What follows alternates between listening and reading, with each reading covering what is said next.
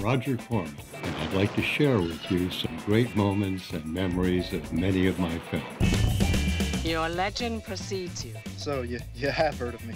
We are unquestionably on the brink of a great discovery. The faithful will survive.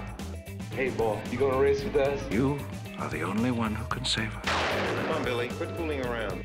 I've never really thought of myself as an artist. I've thought of myself as a craftsman. Hey, it's me, Brendon Small, and I'm here to tell you to tune in to Shout Factory TV and check out an interview with myself and the legendary producer, director, filmmaker, Roger Corman.